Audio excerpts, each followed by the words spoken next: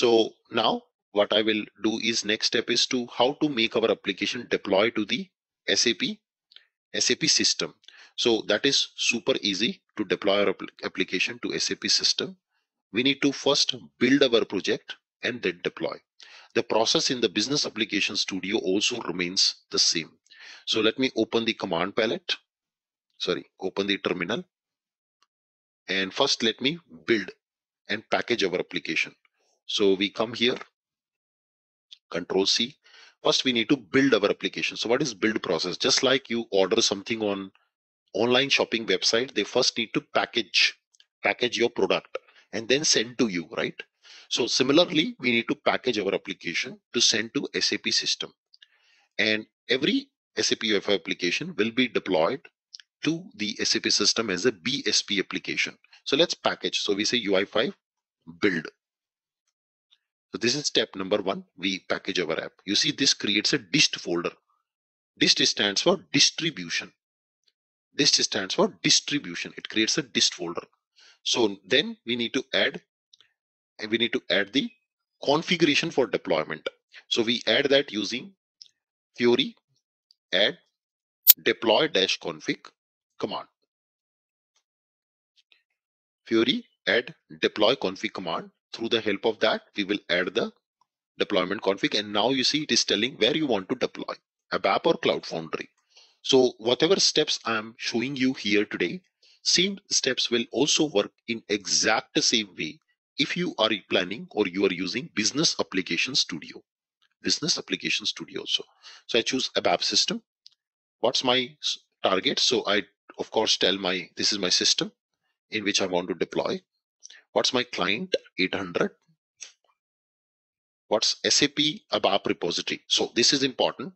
What will be the name of your app in sap so if you go back to sap SCAT, you will see over here in SCAT that we search for a BSP application.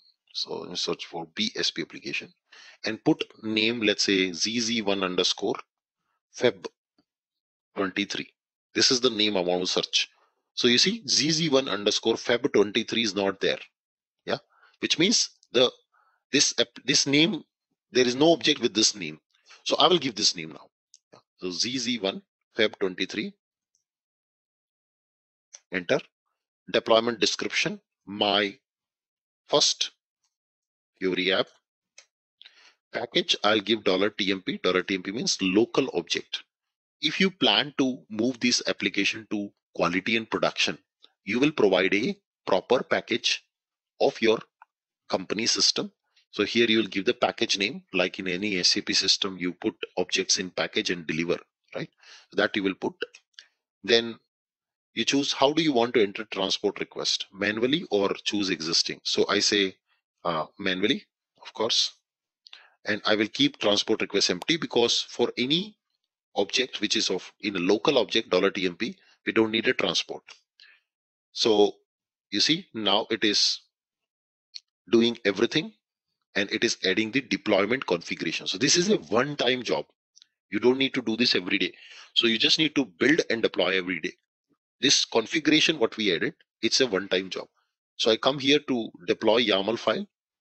Yes.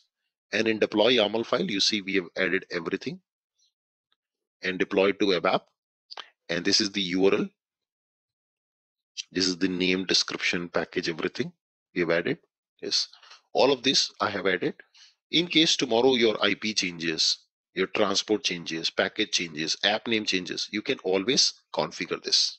Always configure this. This will get added with the command fiori deploy config. It's a one-time activity yes. Next what we need to do is we are then going to perform the deployment. To trigger the deployment now we will use the command called uh, we will use the command called deploy. So that command is added to package json. You see there is a deploy command which was added automatically. But this command you see it is asking for a build also. But there is no build command. So we need to add the build command which we did also here. And we'll say ui5 build perfect so we did a build and we also say run build. So now let me trigger the deployment. So I just hover my mouse and say run. And you will see that our Fiori app will now get deployed to SAP system. So it is asking, would you like to deploy? I say, yes, please go ahead. Why? And you see the deployment is going on. So now you see this another error. No alias found for Z ABAP service for user mob 5. This is a very common error you might get in your company also. So what you need to do, you need to check this service provided by SAP. It's a standard service pro provided by SAP. So just in case sometime you get this kind of error, you can resolve also. So let me show you how to resolve this problem. You not see also here. Okay. So let me go to SEGW transaction code. Uh, not SPRO transaction code. This is called SAP customizing. And we can go inside to find the uh, find the ABAP platform, SAP gateway, OData channel. Then we will go to the OData channel configuration, connection setting. So there is somewhere we will find a setting guys where we can manage system alias. Yes, assign SAP system alias to OData service. Let's come inside and here we will do the assignment. Okay, never mind. I'll create a new entry for the system alias. I press F4, put local and default and save. Okay, let's try again the deployment process. So last time it didn't work. Let me try again to perform the deployment. So I hover the mouse on deploy and say run script.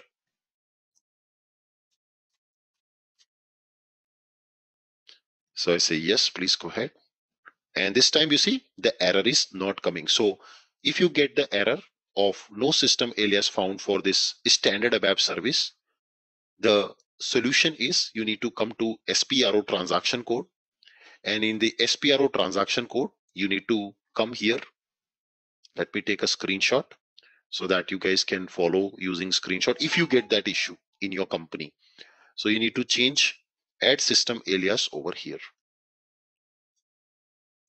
And in this, you need to make the entry of your OData service like I made with the new entry. This entry we need to make. If the error comes, usually this error will not come now because I have already done the configuration for all of you. But just in case you get the error in SAP system like that, you can fix this using the setting in SPRO. So I'm going to give you the screenshot also in the in the system over here. You can follow along to solve this problem. Good that this problem come so you'll know the solution also in your company if you face the similar problem. It's a standard service provided by SAP to upload the Fiori projects. So you see done, you see everything is done, uploaded, which means now our project is available with this ID in SAP. So I'm going to switch over back to my SAP system. Earlier you saw in SC80T code, we were not able to find our project. So we come back, search for BSP application and search for ZZ1 Feb 23, search and yes, there you go. You can see our entire application is now deployed to SAP server.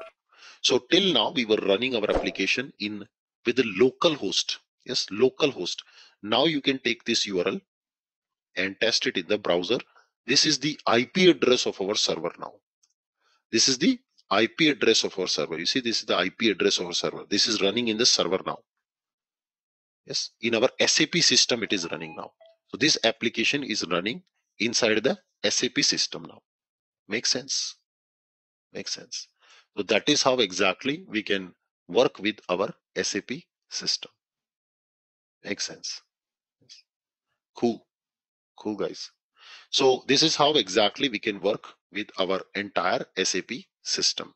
So this comes to the end of our today's episode where we learned about how to build an application with the deep insert in Fiori, and how to also deploy our application to SAP system. In the next episode, I'm going to teach you how to work with the Git, how to take your application to the Git, and how to Now configure this application as a tile on SAP Fiori Launchpad. SAP Fiori Launchpad.